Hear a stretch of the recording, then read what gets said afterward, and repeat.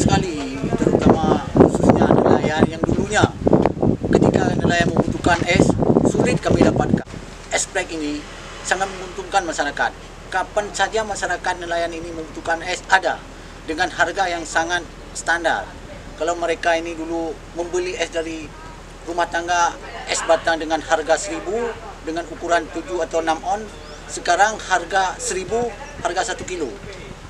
Jadi sangat menguntungkan bagi masyarakat dengan adanya esplek ini.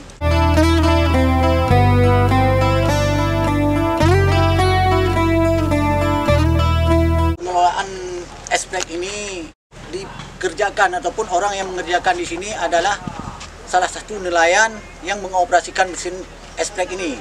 Dulunya mesin ini bisa kita bilang kurang sempurna karena kami tinggal di pesisir dekat laut yang pagarnya hanya bronjong. Tapi setelah ada bantuan dari dana desa di bawah BUMG sehingga mesin kami sudah terlindung dari hal-hal yang cepat merusak.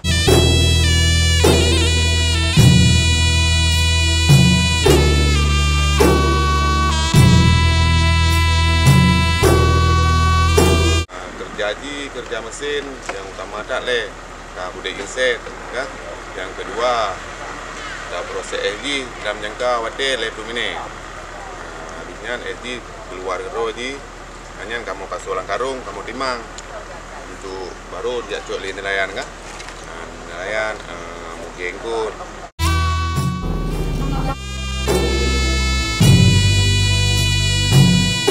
Kampung Kenekai uh, berbatas kalau sebelah uh, barat Kampung Paya Kenekai, uh, sebelah timur dengan Kampung Berawang dan sebelah utara berbatas dengan uh, Kampung Jaboy ataupun Gunung Berapi dan sebelah selatan berbatas dengan uh, laut. Penduduk Kampung Kenekai uh, 930 jiwa dan kegiatan per hari uh, umumnya nelayan bersama petani dan pedagang.